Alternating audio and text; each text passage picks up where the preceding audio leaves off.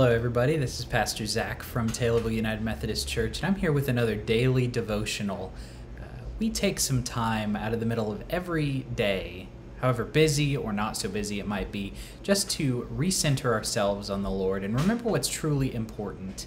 And I can't think of any better way to do that than by spending some time reflecting and studying uh, God's scriptures that He's given us. Now, for the past few weeks, we've been going through the book of James, and we are right at the end. We only have a couple of days left studying this wonderful book that is so challenging for me and so many other people, and I hope that it's been valuable for you. If you need to go back and see some of the previous devotionals that we've done, we've pretty much broken it down verse by verse uh, from the beginning of the book, so you can go back, and all of those are on our page.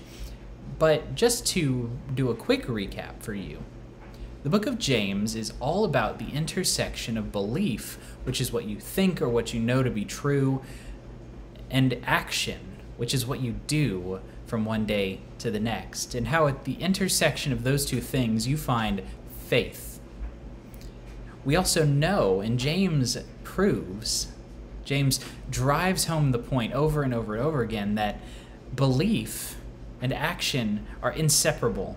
That belief determines your actions, that the things that you know to be true, that you deeply believe and value, that's what's going to decide how you act, even when you don't have time to think.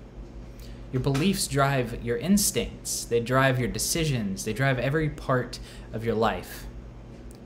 But it's also true that actions can impact and influence your beliefs over time. If you do something that is against your better judgment, or if you do something that might conflict with a belief that you have, then over time your belief will start to shift to better align with your actions.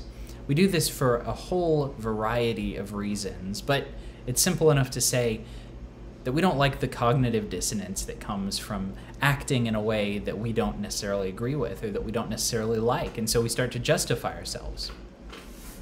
And so that's what James has been talking about. That's what he's been focusing on from the very beginning. And because it encompasses both parts of our lives, our minds and our actions, we can say that faith is all encompassing. It's kind of a holistic thing if you think about it. It affects every part of our life.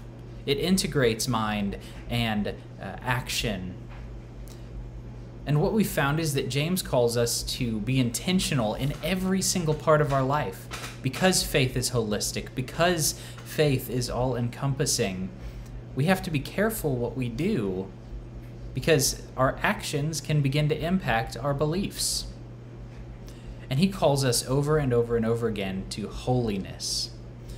So that brings us to this verse that we're looking at today and we are just looking at one verse because it's kind of it's an interesting one to be sure. And that's James 5:12. And in it he writes this: Above all, my brothers and sisters, do not swear, not by heaven or earth or anything else. All you need to say is a simple yes or no. Otherwise, you will be condemned. Well, this is a confusing passage. It's a good thing for us to reflect on why Scripture says what it does. And the question that comes out of this is why is it a big deal to swear on something? Now, keep in mind, this is not talking about uh, cursing or bad language. This is talking about making a vow. It's talking about making a promise, but tying that promise to something significant. And so, if you swear by heaven, then essentially what you're saying is, by my honor in the eyes of God, I will do this. And if you swear by earth, you're saying, by my honor in the eyes of my neighbors and my peers and my friends, I will do this. Well, remember, faith is all encompassing. And holiness starts to look a lot like integrity, which means it requires self control if we want to live a holy life, as James has described, then we need to be intentionally aware of our behavior in every part of life, and that includes the way that we make promises and the way that we make commitments. So when James says, do not swear, there's a couple of different things that are going on here. It's worth noting that there are some Christian, uh, some parts of the Christian world that take this very literally and say, you should, you should not make a vow. You shouldn't make a promise. And the reasoning for that is often as simple as the Bible says so. And to be perfectly honest, that's not a bad reason to do anything. But it's good for us also to understand kind of at a deeper level what's happening. So, first, James is saying that your integrity should make swearing unnecessary. You shouldn't have to make a vow uh, in order for people to be confident that you're going to follow through on your word. If you're a person of faith and you're a person who lives a holy life, then when you tell somebody that you're going to do something, then you'll do it. You'll follow through. You will uphold your commitments because, as scripture tells us, we do all things as though we're doing them for the Lord. But the second thing that we need to remember, and I think this is something we lose a lot in our present uh, society, is that a vow is something that's meant to be binding and significant. It's meant to have power. And when you make a vow in this way, the idea is that breaking a vow is wrong morally and ethically. It's sinful. It's unholy and unrighteous to break a vow. And the wisdom that comes from this is that when you make a vow, you have to follow through.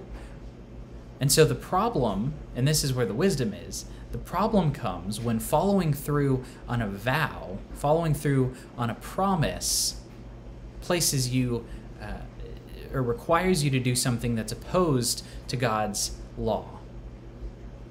And if you'll remember, the law that we follow as Christians is the law of Jesus Christ, the law of love. So when you make a commitment to do something, and following through on that requires you to be unloving, that's when you have a problem because no matter what you do, whether you side with God's law of love or the vow that you took you are falling out of holiness. You are committing a sin. You're doing something against righteousness. And so I think it's important for us to, to think about this. Because, to be perfectly honest, these kinds of vows, they don't come up very often in our society at the moment. But there is something to be said for us as Christians about our integrity about the fact that holiness encompasses even the commitments that we make, even the things that we tell other people we're going to do. Holiness is something that runs deep. It has its roots in every part of our lives. And so we need to be committed to taking that seriously. Let's pray. Gracious God, I thank you for the gift of today, this opportunity to study your word. Uh, Lord, I pray that you would bless each of us, that you would keep us safe, that you would give us strength to walk in your ways.